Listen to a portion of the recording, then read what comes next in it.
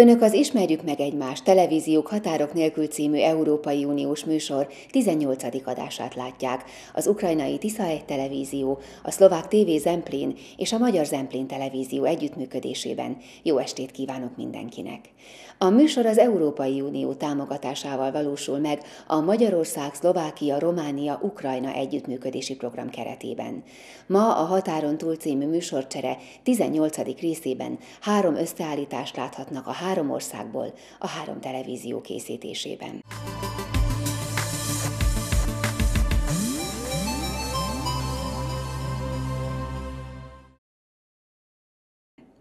Ukrajnából két filmet láthatnak. Az első egy faluportré Dubrinicsről, a második pedig a Huszti vár kisfilmje. Szlovákiából a szokásos négy rövid filmet láthatják, az idősek napját Szilvásról, a nagymihályi diákok kitüntetését, a város második világháborús felszabadulási ünnepségét és a település gimnáziumának 20. születésnapjáról készített összefoglalót. Az Emplén Televízió a hátrányos helyzetű embertársaink kulturális találkozójáról készített összeállítás Szép Halomban, a Magyar Nyelv Múzeumában. Kedves nézők, ennyit előzetesként, most pedig nézzék a Tisza egy televízió kisfilmjeit. A Tisza egy televízió első kisfilmje egy úgynevezett faluportré Dubrinics településről. A több mint 2000 lakosú Bercsényi falva Kárpátalja szerte gombatermű erdejéről ismert. Az Ungvártól 30 kilométernyire található falu lakosainak a gombagyűjtés komoly jövedelempótló tevékenység. A település arról is nevezetes, hogy az 1800-as években innen szállították a kaolint a magyar porcelán készítéséhez. Bercsényi falva látványossága az 1775-ben közadakozásból felépült Mária mennybe menetele templom, mely több világhírű festményen is szerepel, például Taras Danilics Ukrajna érdemes művészének képein.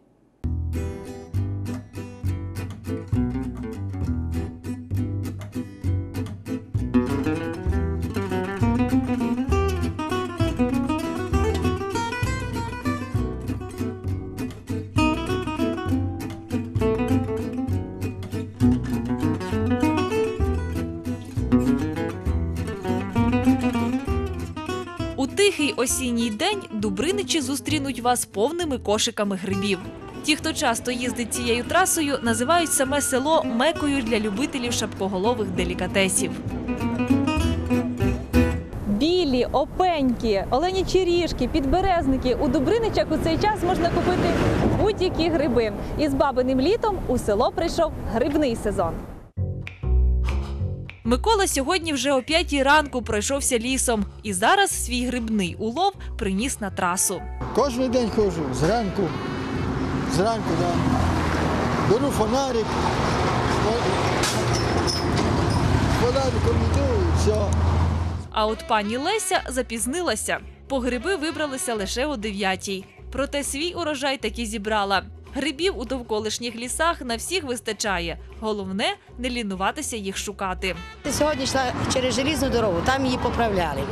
І кажуть так, 36-37. А я кажу, що 36-37. Вони мені кажуть, то ви 36, а чоловік що з вами 37. А я кажу, в смислі, вже пішли з електрички, з а ви 36-37. 37 людей йшло у половину 9 Києва на погребі.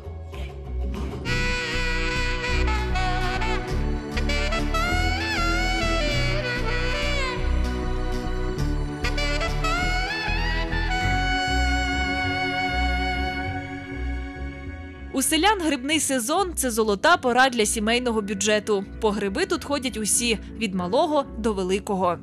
Так, гривню 300, то так реально. А так вже більше, ну менше теж буває. Ну, десь в середньому 300 гривень. А якщо, наприклад, одна людина піде, то, то звичайно не збирає стільки, щоб е, можна було заробити. В принципі, одна корзина коштує 80 ну 100 гривень.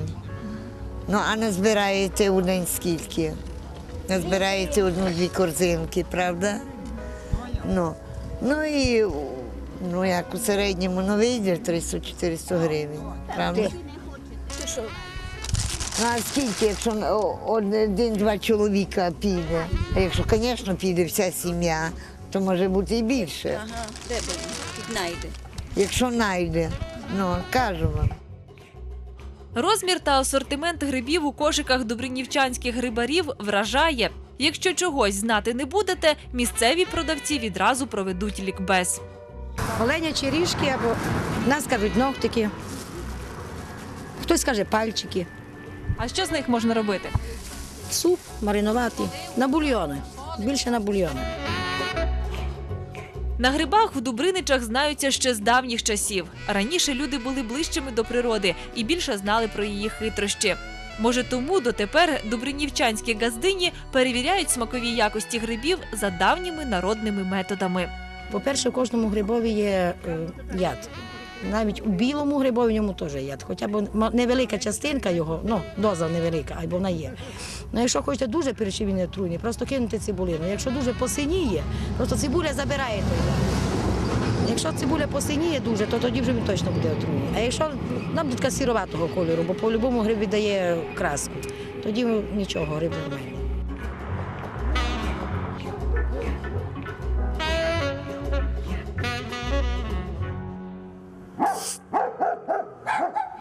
Зараз покажемо на телевіденні ваше. Займається мітлами, на чому робити ніяк. Просто треба заробити на кусок хліба. І зато я хочу показати, як вони це. Пан Іван у ліс теж навідується часто. Та на відміну від грибарів, чоловік не залежить від сезонних змін. Товар пана Івана завжди у ціні. Чоловік уже багато років займається тим, що майструє мітли. Її треба затисати внімательно ножиком, потім скласти і зав'язати дротом і все, набити палицю і все. Йо, то в мене цілий день виходить. Якщо рано сяду, а вечором закінчу. У Дубриничі Іван та Марія приїхали з іншого перечинського села Сімерок. Там для таких майстрів конкуренція завелика. Має вигодно ту із коша продати, бо там вже много людей направляються і роблять много людей. А тепер я хочу тут продати її низьки. Літом так, але не важко, що можна зробити, але зимою важко сильно. Коли сніг купає до коліна, там уже хоч нам робити, хоч не робити їх.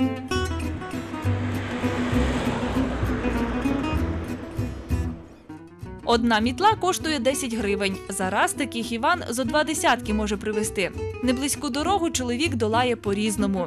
Коли на біциклях своїх там, коли електричку тепер приїхали на електрички, а тепер теж будемо на електричку йти, бо далеко йти до, Сі-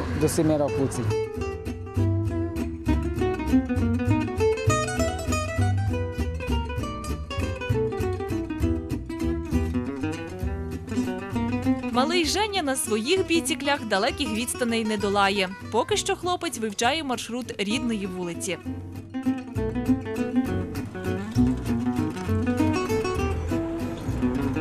Мене звати ж Еня, мені 6 років. Я, мене навчив друг кататися.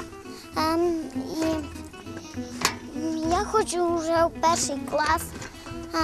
Ну, ми се учимо там. Сьогодні у школу Женя не пішов, бо має на це серйозну причину. Бо мене тут черво боліло, ой, голова, та я не йшов до школи. І вчора так же само. А на велосипеді їздити не болить? Ні, бо тепер перестало, ще вам обід перестало. А завтра як думаєш, буде боліти? Не знаю, може і не буде.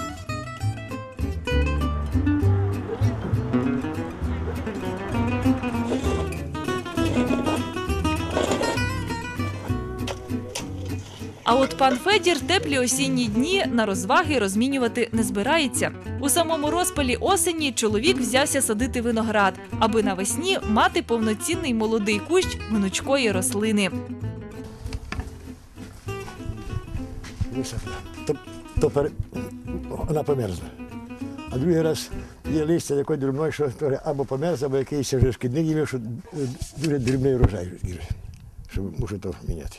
Саджанці пан Іван вирощує сам. Навесні чоловік помістив кілька галузок виноградної лози у земляний контейнер. За літо пагінці проросли і зараз готові вживитися у великий ґрунт. Мушу ще щоб зараз якої корі. Коника вже корінна система тут заїта є. Ну, зараз ото акуратно. Эти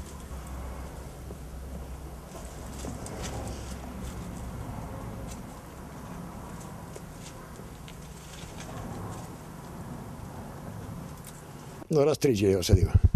Тут машини приїздять, такі стройматеріали, нема де, то скидав, та поламали. Так не серйозно того. А воно вже пішла, а зараз хочеться ну, зробити, було. У перерві між садівництвом та іншими повсякденними справами Федір Васильович теж любить у ліс навідатися. На відміну від своїх односельчан, чоловік ходить не лише за грибами, а за справжньою дичиною. Поряд із цим пан Федір переслідує ще одну мету. Я три роки не ходив на охоту. Думаю, вже зря не було, та й не є. А виджу, то мені кава, сигарети, телевізор, то я їло. Тепер лишимося курити, де помалі чувся інакше.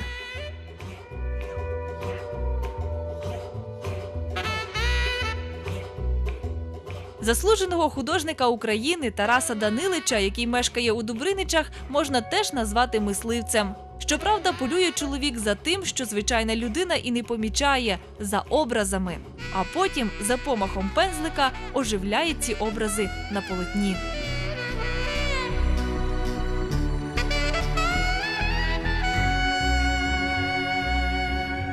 Навіть коли говорять, що йдуть люди, десь там картошку, картоплю копали, йдуть. Я йду за тюрником, не старого художник іде. Я вже з ним так по-нашому починаю говорити, як там, що там, чи вродило, чи не вродило, чи, чи буде, чи не буде. І так люди мені ще щось своє розкажуть, свої біди, своє то. І то якраз ну, накоплюється і відкладується. А коли малюєш, то здогадуєшся. То вже тоді характер і, і той дух, який є там, який був там, то можеш передати на, на картині. Закарпатські села та пейзажі м'яко лягають на полотна митця. Деякі роботи заархівували те, що люди не зуміли зберегти, як ось цей старий млин. Живуть на полотнах Тараса Данилича і самі Дубриничі. У нас престольний праздник е, у Успенії Богоматер Дубринич. Так в мене є така картина, так і називається Успенія Богоматері в селі Дубринич.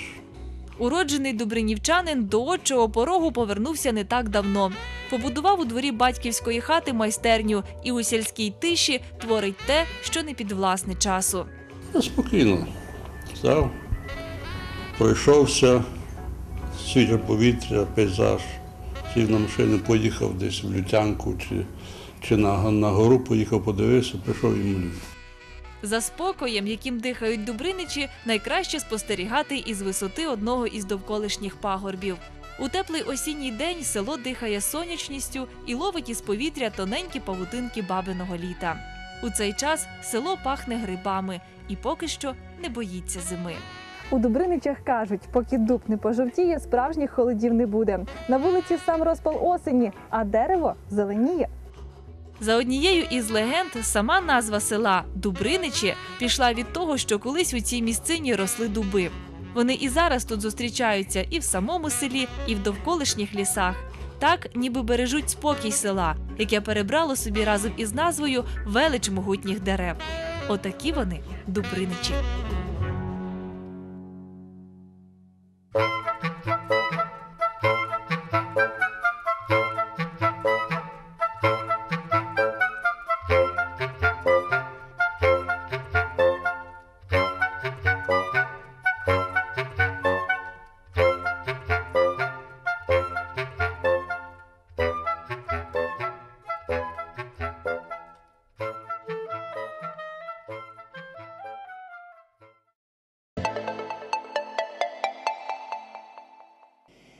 Búzs düledékein husznak romvára megállék.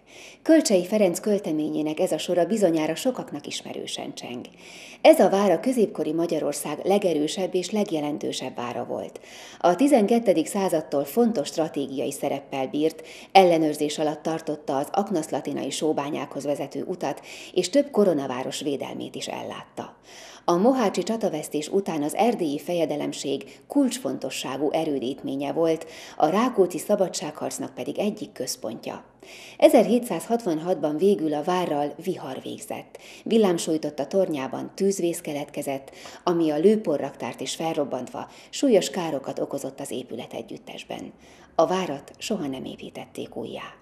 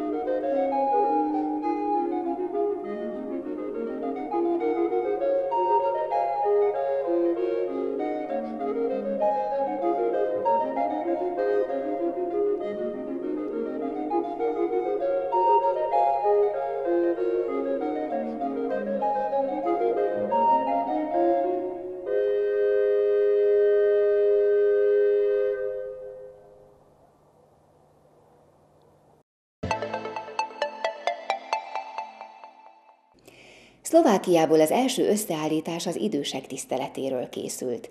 A TV Zemplin a Szilvási Idősek Napja kulturális eseményén készített riportfilmet. A rendezvényen a falu apraja nagyja részt vett. Slivníčania prejavili úctu k starším aj v novembri. Dôkazom toho bolo kultúrne podujatie, ktoré sa uskutočnilo v obci práve pri tejto príležitosti. Starosta obce Slivník spolu s poslancami obecného zastupiteľstva zorganizovali už šiestý rok spoločenské posedenie so seniormi. Privítali ich v sále kultúrneho domu v Slivníku v okrese Trebišov. Pozvanie dostali tí Slivníčania, ktorých vek presiahol 65 rokov. Hneď po príchode každého účastníka obdarovali zamestnanky obecného úradu malou pozornosťou, ktorá im bude pripomínať pripomínať tento deň. Odozdávame zvlášť darček pre muža, zvlášť darček pre ženu a tí občania ležiaci, ktorí sú doma, že nemohli sa zúčastniť, že pre chorobu tak ich osobne navštívim doma a im odovzdám tie suveníry, ktoré sme odovzdávali teraz tu. Prítomným dôchodcom sa v úvode prihovoril starosta obce, ktorý im poďakoval za ich dlhoročný aktívny prínos obci a podnietil ich, aby ochotne svoje skúsenosti podávali mladším generáciám. V neposlednom rade zaprial všetkým pokojnú a v zdraví prežívanú jeseň svojho života. Som rád, že naše pozvanie dneska prijal e, poslanec Národnej rady Slovenskej republiky pán e, Robert Puci, som rád, že naše pozvanie prijal štátny tajomník ministerstva práca a sociálnych vecí Jozef Burian. Pozvanie prijal aj prednosta obvodného úradu Rastislav Petrovič, ako aj riaditeľ úradu práce v Trebišove Miroslav Top. Penzistom z úcty a lásky ubili kyticu v podobe zemplínskych ľudových piesní spevačky domáceho folklórneho súboru Slivníčan.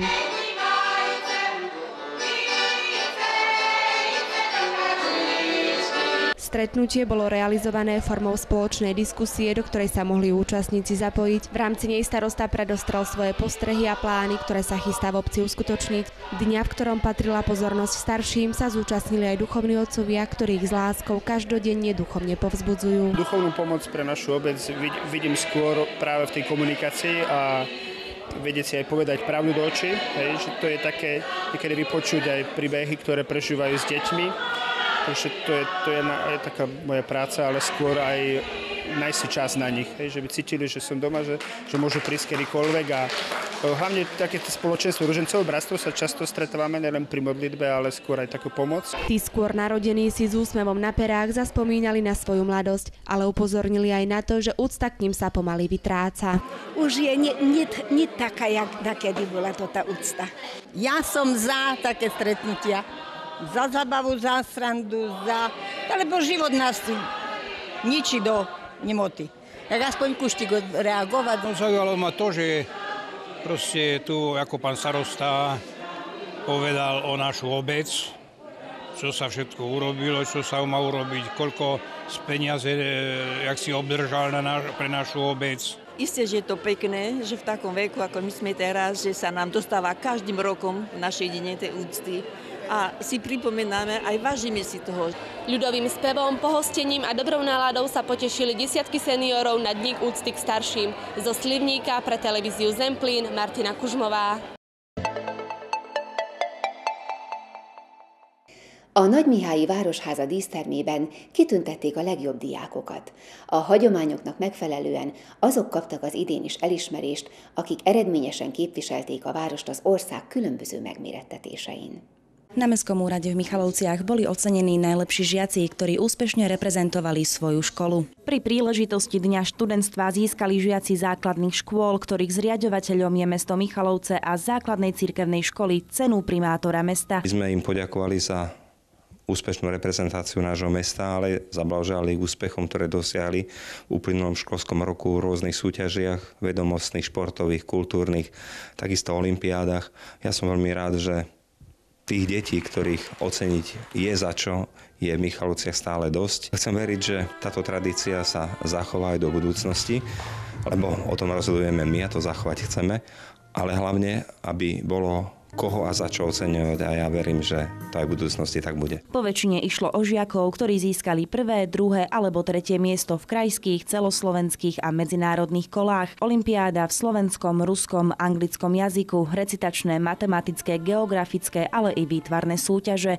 Za tieto úspechy si prevzali cenu jednotlivci. Ocenení však boli aj športovci, či už samostatne alebo kolektívne. Ja som bol ocenený za 60 metrov šprint starších žiakov časom 7.07. Uh, bol to ťažké, trebalo trénovať a tak. A ten čas je výnimočný čím? To je slovenský rekord. Bola som ocenená vo vytvarnej súťaži šport a olympijské hry. Maľovala som tam výkres, som maľovala kajakara v jeho športe a mala sme znázorniť svoj najobľúbenejší šport. Vyhral som krajské, no, kraj v behu na 1000 metrov. A tak trénovať, trénovať a trénovať. Bola som ocenená preto, lebo bola som spievať na piesem pre Svetého Otca, vyhrala som v zlatom pásme, som sa umiestnila. Za každým úspechom žiaka stojí jeho učiteľ, pretože pracovať s nadaným, talentovaným žiakom je náročná práca.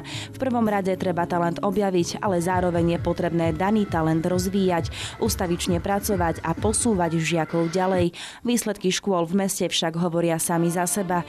Gymnázium Pavla Horová bolo vyhodnotené ako absolútne najlepšia škola na Slovensku a škola Teodora Jozef Jozefa Musona získala druhé miesto najlepších základných škôl taktiež na Slovensku. Nervozitu, stres a prebdené noci vystriedalo šťastie a pocit úspechu, ktoré v sebe cíti každý jeden žiak v tejto sieni. Z Michaloviec pre televíziu Zemplín Simona Inkabová. Koszorúzással egybekötött megemlékezést tartottak Nagymihályban a város második világháborús felszabadulásával kapcsolatban.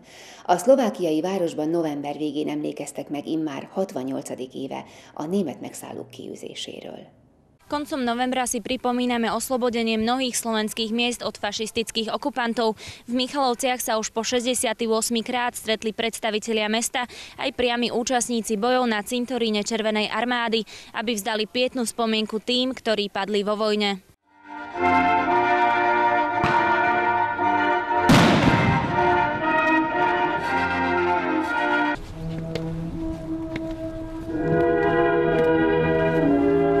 Najväčší slovenský cintorín padlých vojakov z druhej svetovej vojny stojí na hrádku v Michalovciach.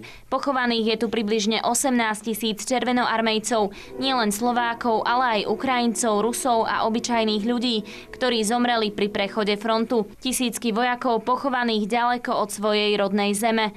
Na znak vďaky stojí tento pamätník, pred ktorým sa každoročne skláňame koncom novembra, aby sme si pripomenuli, že svoj život nepoložili zbytočne. Úctu, ako dnes oddávame, oddávame všetkým vojakám, aj ukrajinským, aj slovenským, aj ruským, pretože všetci spolu oni v druhej svetovej vojne pre nás zrobili jasné nebo, čisté slnko a samozrejme, že veľmi dôležito pre mládež, aby ona si to pamätala, čo to boli za ťažké dni, života ľudí. Pietnú spomienku prišiel vzdať aj pán Gejza, priamy účastník bojov, ktorý má vojnu stále v živej pamäti. Pri Mikulášu som bol aj ranený, ale slabší do hlavy. No a potom pri Žiline boli veľké boje, hej, no tak by pokračovalo, až sme prišli do Prahy, no, keď sa už skončilo. Priamých účastníkov bojov je dnes už málo, stále je však dosť tých, ktorí sa snažia miera slobodu udržiavať. Práve tí boli ocenení na Mestskom úrade primátorom mesta. Je tu aj príležitosť, aby sme e, ocenili tých, ktorí, ktorých nám navrhli jednotlivé zložky, e, ktoré v meste existujú, ale popri tom aj oni zase oceňujú, či už protifašistickí bojovníci, alebo aj iní. Máme tu zahraničných hostí, ľudí, ktorí s nimi spolupracujú. Koniec druhej svetovej vojny si Michalovčania pripomínajú aj športovým podujatím, matičným behom o štít mesta. Tento rok sa uskutočnil jeho jubilejný 20. ročník. V 16 kategóriách odbehlo určenú trať vyše 120 bežcov. Táto trať je špecifická delná pre jednotlivé vekové kategórie. Mládež, mládež bežia, beží po mestskom okruhu v dĺžke 550 metrov, to je tzv. stredný okruh. Dospelí zase po tom istom okruhu, ale zväčšenom v dĺžke e, 1 km, to znamená, že 11 km absolvujú pretekári v kategórii dospelých. Výsledky tohto behu dôležité neboli. Dôležitejšia je osveta, pripomínať si udalosti spred 68 rokov, aby sa už nič podobné nikdy nezopakovalo. Aj takýmto symbolickým behom si Michalovčania pripomínajú 68. výročie oslobodenia mesta. Cieľom je, aby sa najmä mládež dozvedela o významných udalostiach, ktoré sa tu v tomto období udiali. Pre televíziu Zemplín, Anna Činčárová.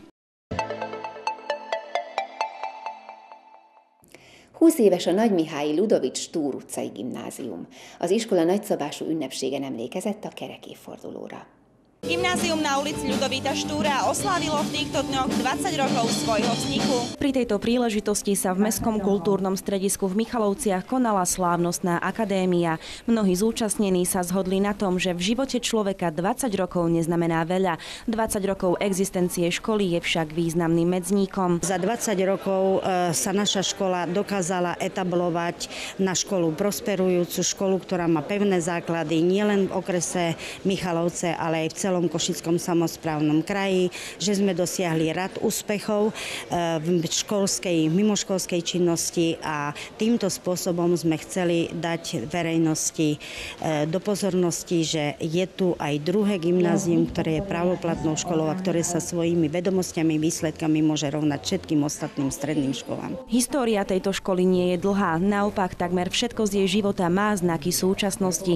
No ako pred 20 rokmi, tak i teraz je jej prioritou prioritou vychovávať čo najlepších žiakov. Výsledkom toho, že táto škola to robí správne, sú jej absolventi. Vnímam ho ako svoju alma mater a pomohlo mi veľa v mojom budúcom živote, v mojom budúcom povolaní a v krokoch, ktoré, ktoré momentálne zdieľam, ktoré napredujem a smer, ktorý mám dalo mi vynikajúci základ pre ďalší môj život. Dá sa povedať, že práve v tých časoch som začala účinkovať aj v takom divadelnom krúžku, ktorý sme si s mojimi spolužiakmi založili na škole a možno aj tam som objavila možno v sebe nejaký ten dar alebo talent, že chcem pracovať so slovom. Významným medzníkom bol rok 2007, ktorý znamenal personálne a majetkové osamostatnenie sa gymnázia, ktoré v súčasnosti poskytuje vzdelávanie pre žiakov štvoročného a 8-ročného štúdia a štvoročného štúdia školia pre žiakov so všeobecným intelektovým nadaním. Pred 20 rokmi toto gymnázium vzniklo a že pretrvalo do dnešných časov a pevne veríme, že bude aj do ďalších rokov toto gymnázium trvať, svedčí o tom, že vznik toho gymnázia bol opodstatnený a že samozrejme sa toto gymnázium uplatnilo i pri gymnáziu s dlhoročnou tradíciou. Za úspechom školy a jej žiakov stoja v prvom rade trpezliví, veľkodušní a kreatívni učitelia.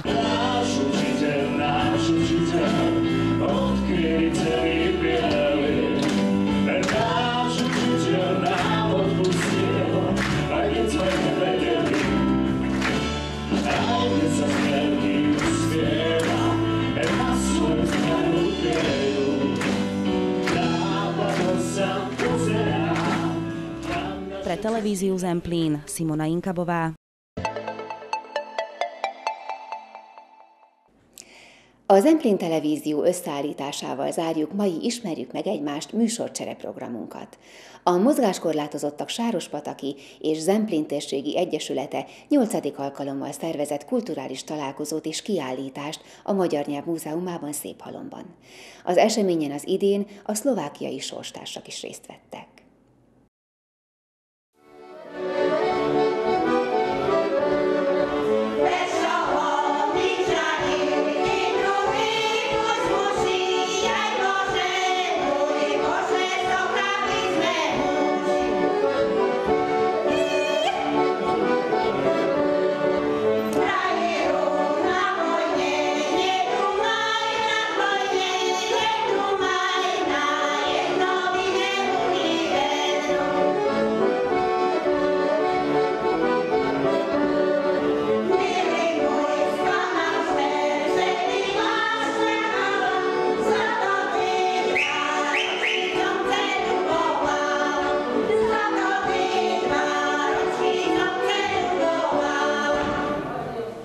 Szeptember 8-án szervezte meg a mozgáskorlátozottak Sárospataki és Zemplén térségi egyesülete a 8. kulturális találkozót és kiállítást. A Széphalmi seregszemlén épek és fogyatékkal élők együtt léptek színpadra, illetve hozták el kiállításukat. A rendezvényen határon túli fellépők és kiállítók is voltak. Márciusban szoktuk mi ezt a kulturális és kiállításnak a szervezését, illetve magát az egész programot lebonyolítani. Ugye tavalyi évtől megszűnt a Nemzeti Civil Alap, ugye ma, tehát ez idén ugye a Nemzeti Együttműködési Alap írt ki pályázatot, és bízunk benne, bízunk benne ugye, hogy fog nyerni ez a pályázat. Bár a mai napig nem tudunk a döntésről, de nem akartuk elhalasztani ezt a lehetőséget. Úgy gondolom, hogy az Egyesületnek ez egy színfoltja, és ezt a hagyományokhoz szíven nem márciusban, nem most ősszel valósítjuk meg, immár másodszor itt Széphalomba. Alapvetően ez a nyolcadik év, amikor ezt a találkozót, illetve ezt a kiállítást már megrendezzük.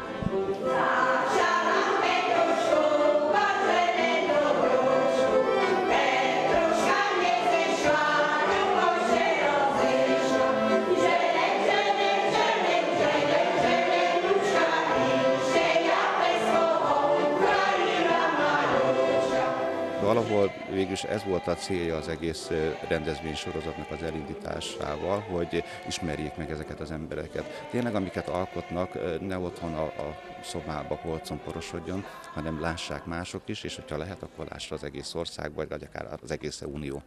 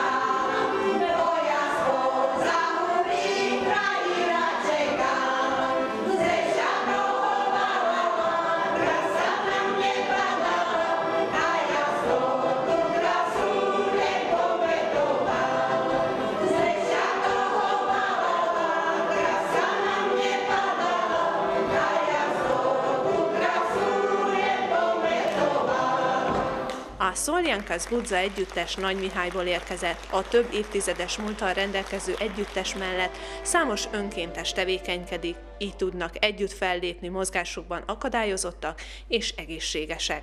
Takže najprv by som povedala o našom zväze. Je to Slovenský zväz zdravotne postihnutých, ktorý zahrňa všetky zdravotné problémy. Mi szervezetünk Nagy Mihály városba székel. Magába foglal a környéken élő egészségüleg fogyatékos lakosokat. Továbbá van szimpatizásunk is, akik nem kell, hogy fogyatékosak legyenek, hanem egészségileg rendben vannak. Azt akarjuk, hogy beavatassuk őket a kulturális életbe, és vegyen, vegyünk részt ilyen rendezvényeken. Na tejto súťaži sa zúčastňujeme po druhýkrát aj naši priatelia z Maďarska. Ezen a rendezvényen most veszünk részt másodszor. A Sárospataki Egyesület is volt nálunk, rész, részt vett nálunk a mi rendezvényünkön tavaly szeptemberben, a Szív mint ajándék programban. Ez hasonló rendezvény, mint itt ez, ez a mostani, csak egy kicsit nagyobb méretű, egész szlovákiai méretű. Dargai Béla dalcsokorral lépett színpadra. A Miskolci nyugdíjas énekes több klub és szervezet tagja. régi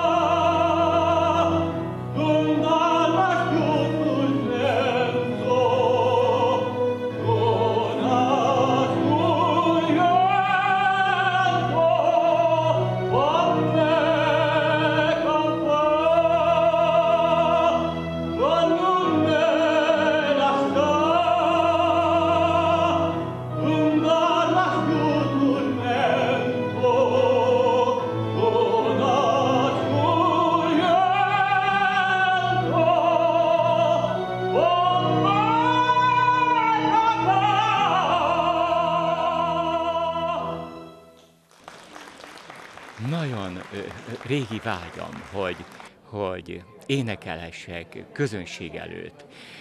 Egyáltalán, egyáltalán hogy, hogy ezt, a, ezt a fajta művészetet úgy gyakoroljam, úgy csináljam, ahol, ahogy, ahogy tudok hatni az emberekre, pontosabban az emberek lelkére, szívére, és ezt meg tudom tenni, örömet szerzek az embereknek, akkor ez már óriási siker. És azt hiszem, hogy, hogy ezt el tudom érni. És ezért csinálom, hogy örömet szerezek az embereknek. Kis boldogságot, egy kis álmokat, amelyeket, amelyeket az előadásommal, az énekemmel hazavíve tovább álmodnak, és, és egyfajta boldogságérzés tölti el lelküket, szívüket. Ezért csinálom.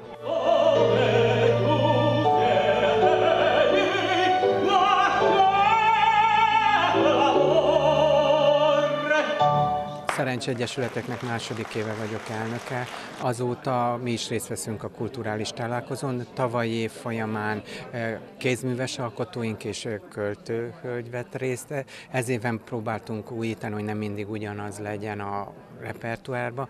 Most a Ne Felejts Népdal körünk, ami közösen van a, az egyik nyugdíjas klubban, mivel hogy a nyugdíjas klub tagjainak 90%-a mozgássérült is sajnos, és így együttműködünk. A Sárospataki Egyesülettel pedig nagyon régóta van egy szoros kapcsolata a Szerencsés Sárospataki Egyesülettel, mivel a régióban mondhatjuk azt, hogy a Sárospatak után mi vagyunk a, a hegyaljai régióban az egyik másik legnagyobb egyesület, és próbáljuk úgy összhangba hozni úgy a kapcsolatainkat és rendezvényeinket. A Sárospatakiak részt vettek ez éven nálunk az áprilisban tartott esélyegyenlőségi konferencián, mi hasonló volt, csak ott inkább a szakmai rész volt domborítva. Most mi itt vagyunk a kulturális találkozón, és próbáljuk így együttműködve ezt a régiót lefedni, úgyhogy a sérült emberek, a mozgássérült emberek mindig megtalálják egymást, és tudjanak egymással úgy találkozni, hogy legyen értelme ennek a találkozónak, és kizökkenjenek abból a mindennapi zártságból, amit őket körülveszi. A találkozó egyik nagy előnye volt, hogy a térségből sok szervezet vezetője is eljött, így az aktuális problémákról is tudtak beszélni. Ilyen például a gépkocsi szerzési jogszabály változása, vagy a taglétszám csökkenése. A MEOSZon kívül, ami az országos szövetség, nekünk van egy ilyen lazább szövetségünk a megyében, tíz egyesület, kötetlen, laza szövetséget kötött, hogy minden olyan dologban egyeztetünk, ami a mozgáskorlátozottak, illetve a fogyatékosokat érinti, nem csak a mozgáskorlátozottakat. Miután közhasznú szervezetek vagyunk mindannyian, mindannyian, nekünk nem csak a tagjainkkal kell foglalkoznunk, hanem bárki olyan emberrel, aki segítségünket kéri, vagy véleményünket kötelesek vagyunk foglalkozni, من قصص مسربزة يا عبد المسيح ويا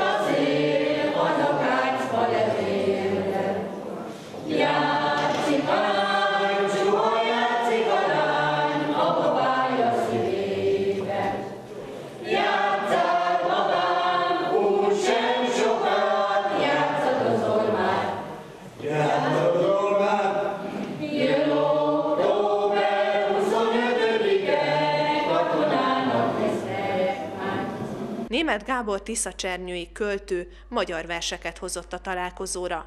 Meggyújtom az aranynapot, a szemedbe ég az oltár. Istenem, a tenyered mindig teli van, minden út hozzád boldogít. Nyári rózsa tovább él, írja a verseit. Keresztfán Krisztus vér, minden fájdalom belefér és a reggeli pillanat, mint a lepke, az ablakon berepül, veled Istenem, sose nem vagyok egyedül. A Tisza-csernyői fiatalember elsősorban szlovák nyelven publikál, ám ha ihletet kap, magyarul veti papírra gondolatait.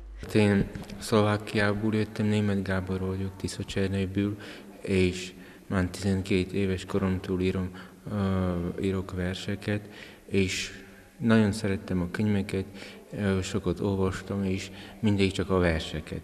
És úgy gondoltam, hogy én is megpróbálok írni pár verseket, és valahogy megható volt, és nem maradtam egy vers mellett, de írtam tovább, tovább jártam versenyekre Szlovákiába, mint literárni Trencsin, Stúrov opera, és mindig kaptam valami diplomokat, és az olyan megható volt, hogy tovább és tovább írtam. Utána elmentem középiskolára, Pozsonyba, ahol könyvtáros iskolába jártam, és már 23 éve dolgozok, mint könyvtáros Tiszacsernőbe, és az ugyanaz munka, könyvek, és mindig közel voltam a versekhez, és 2006-ban bevettek engemet művészeti központba, tagja vagyok, szlovák-magyar családban született, és először szlovákul tudott, majd megtanult magyarul. És itt magyar verseket hallottunk.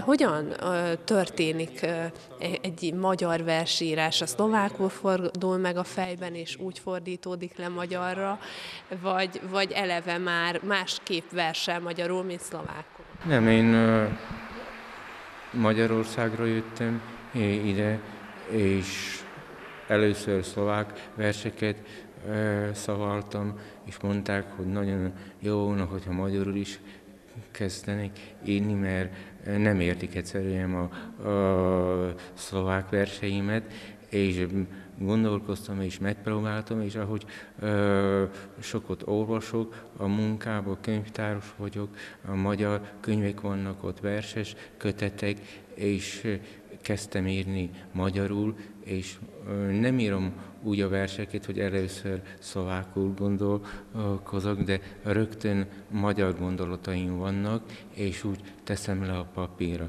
Ének, tánc, festmények, kiállítás, valamennyi művészeti ág egy célt szolgált szeptember 8-án Széphalomban. Közösségé kovácsolta a fogyatékkal élőket és a sérülteket. Együtt sírtak, nevettek, szórakoztak a színpadra lépőkön.